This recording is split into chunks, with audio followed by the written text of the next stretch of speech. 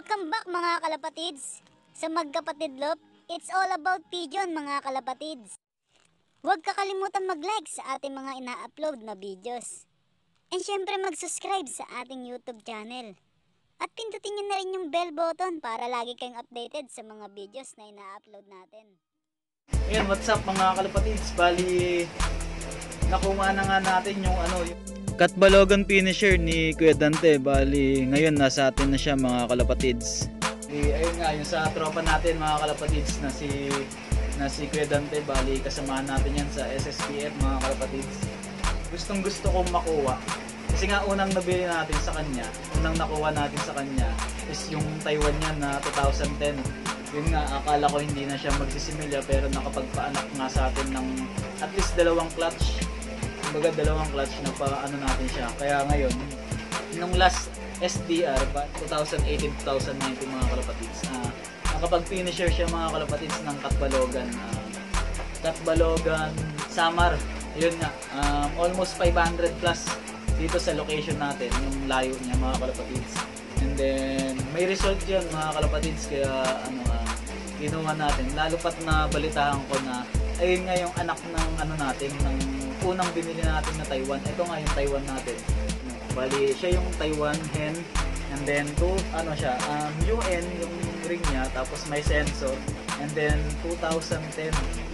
Kaya medyo, ano na, um, 9 years. 9 years na siya mga kalapatids. Ito si Taiwan.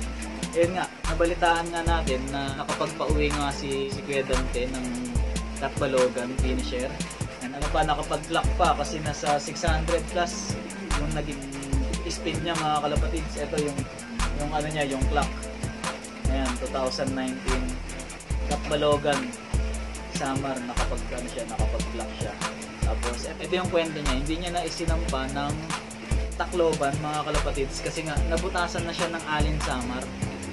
Baga Alin Samar kasi kinabukasan daw siya umuwi. Pero nung Sorsogon, ayun nakapag-clock nga siya nang nasa 1,000 plus pa yung clock niya mga kalapatids. Pagdating ng Allen Samar, medyo smash yun nung time na yun, alam ko mga kalapatids. Kaya kinabukasan umuwi ang anak ng Taiwan natin. Kinabukasan siya umuwi na maaga, maaga naman. Siyempre, ano, um, tapos na yung clock niya. Hindi siya nakapag-clock.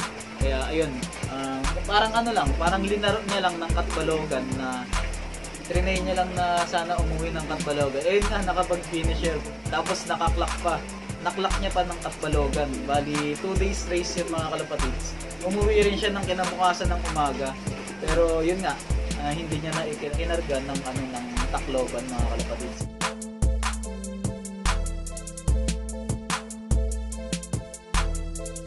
Yan mga kalapatids, bali hawak natin yung uh, nabili natin yung kay Kuya na Katbalogan finisher mga kalapatids.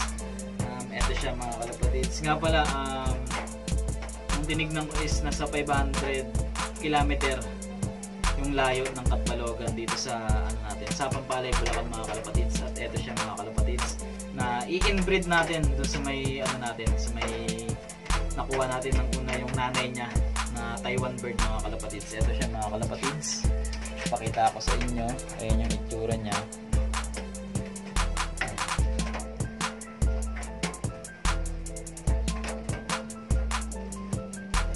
Ayan. Ayan mga kalapatids ito yung itsura ng ano natin. Ayan ang ganda ng ano niya. Tapos yung katawan niya. Ayan sobrang ganda kung makikita nyo ayan konti lang yung makikita yung buto. Tapos taba-taba na yan dito. Tapos ayan siya mga kalapatids. Tapos yung ring nya um, ito para mapatunayan natin na ano siya na ito yung ring number nya bali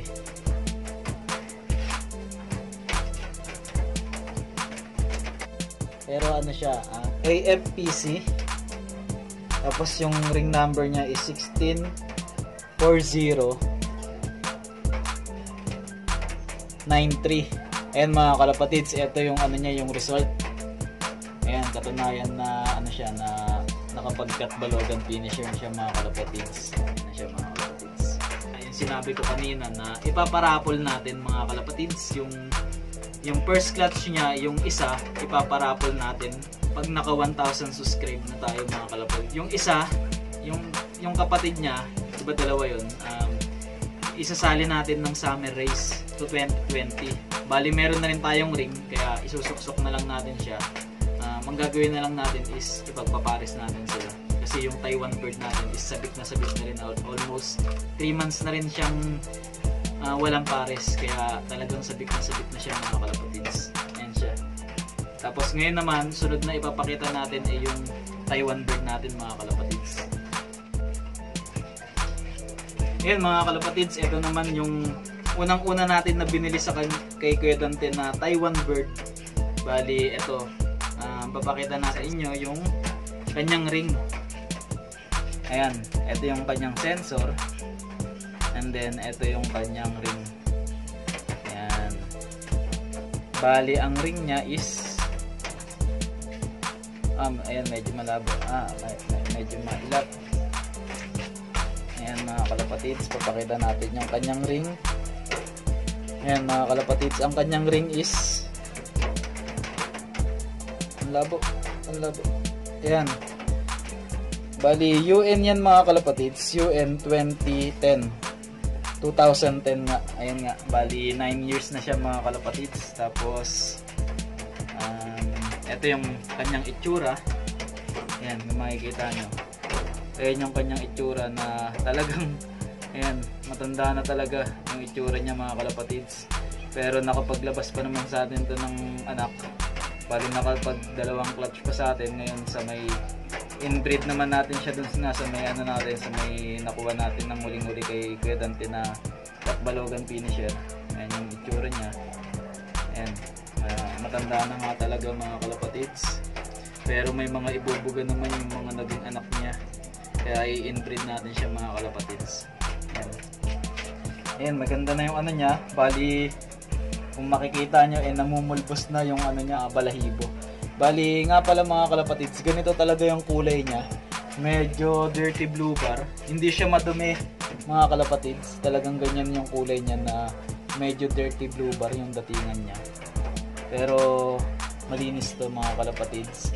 And then ano na siya, um, ready to breed. Deworming tapos na rin. Tapos conditioning tapos na rin. Ayan. Kompleto yung mga pakpak. And then namumulbos yung mga ano niya. Tapos yung ilong niya puting-puti na rin. Tapos yung paa niya. Ayan, puti na rin. Kaya ready na yan mga kalapatids. Ayan. Medyo matanda na nga rin. Sana maglabas pa sa atin siya ng ng maasahan natin na makakapag ano sa atin makakapag takloban or makakapag claveria mga kalapatids. Ayan. Ito na yung bali ipapasok ko na sa cage. Bali sana maglabas sila ng maganda-gandang anak na resulta. Ayan mga kalapatids. Ayan yung. Ganda. Ayan mga kalapatids. Ang ganda niyan. Okay mga kalapatids. Ito good news mga kalapatids. I- ipaparapol natin siya sa inyo mga kalapatids sa lahat ng subscribers ko na baga tumatangkilik sa mga videos natin. Ayun, maganda-ganda na yun. Bali, yung anak niya, Katbalogan, tapos Santa Ana finisher, tapos nanay, at saka yung anak ng Katbalogan, pagpapares natin, inbreed. Bali, ayun nga, ipaparapol natin yung isa. Yung isa, ipaparapol natin. And then yung isa, syempre dalawa yun eh. Yung isa, parapol, parapol natin sa mga subscribers natin kapag once na naka 1,000 na tayo. Um, sa ngayon nga, eto nga, bali 700 plus na. Baga 200 plus na lang mga kalapatids. Kaya, baga suportahan nyo na ako, suportahan nyo na para ma, ma- makasali na rin kayo sa ano natin, sa mga parapol. Ito yung ano natin, yung YouTube channel natin, 700 plus na. Kaya konti na lang talaga yung ano, ang konting support na lang mga kalapatids, maaabot na natin yung 1,000 subscribers ng YouTube channel natin. And then, ito pa, good news mga kalapatids.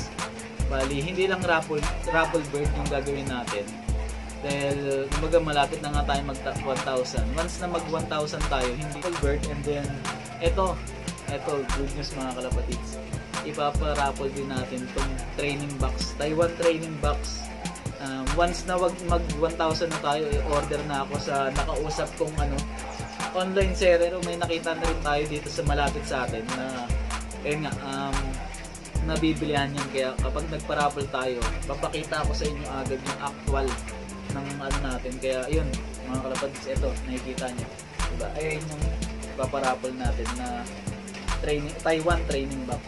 Ayun, syempre, dahil na rin sa pasalamat sa inyo mga kalapatids na tumatangkilik sa video natin. Kaya ang gagawin nyo lang mga kalapatids is ilalike nyo lang yung ating video. Tapos, syempre, i-subscribe, ay, i-share nyo na sa mga tropa pits, sa mga kalapatids natin. And then, syempre, i-subscribe nyo na para maging updated kayo. Kasi nga, syempre, kapag once na mag 1,000 tayo, ah, hintayin naman natin na mapisa yung ano natin. Tapos, pwede na natin i-raffle. Tapos, hanggang sa lumaki, kailan nyo nakukunin yung ibon natin. Syempre, di ba? Pati yung training box. Baka nga mauna yung training box, di ba? Pag na umabot tayo ng 1,000 agad. Kaya ayun, um, baga like nyo lang yung video mga kalapatids and then share sa mga kalapatids natin, sa mga katropa natin na mga newbie na gustong magkaroon ng foundation bird and then magkaroon ng training box. Ayun, i-share nyo na. Tapos and then subscribe nyo na rin yung ano natin para nga makaabot tayo ng 1,000 and then pindutin nyo na rin yung notification bell. Ayan mga kalapatids. Para maging updated kayo sa lahat ng video natin. And then sa magiging mechanics ng ating raffle bird. And then yung raffle natin ng training box. Ayan mga kalapatids. Um, hanggang dito na lang mga kalapatids yung ating ano yung ating update sa dalawang giging foundation bird namin. Isa nga doon yung finisher ng Patbalogan and then yung nanay niya na Taiwan. Bali ayun nga yung magiging foundation namin. Tapos syempre ipaparapol ko agad yung first clutch mga kalapatids. Ayun. Good luck mga kalapatids sa YouTube YouTube channel namin. Sana suportahan yung mga kalapatids. Malapit na. 200 plus na lang. Konting ano na lang konting pindot na lang mga kalapatids konting pindot na lang sa sa red na yan at saka sa bell button. And then malapit na tayo mag 1,000 ayun good luck mga kalapatids. And then maraming maraming salamat sa sa lahat ng magsusubscribe mga nakasubscribe na. Pwede pa rin pwede kayong sumali mga kalapatids. Lahat kayo ng mga kabasa or mga kapanood ng video natin pwede kayong sumali sa ating ipaparapol mga kalapatids. Yan ulitin ko lang is raffle bird isa and then yung pangalawa yung training box natin na Taiwan training box. Ayun. Good luck mga kalapatids. And then have a nice day mga kalapatids. Good luck sa mga race